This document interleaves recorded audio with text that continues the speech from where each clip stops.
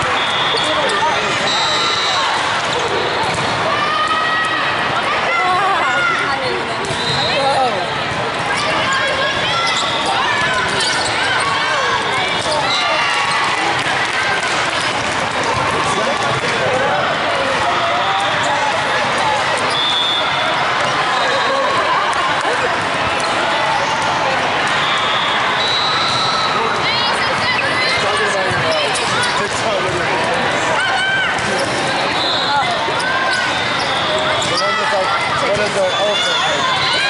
Right, but I'm going home. It's like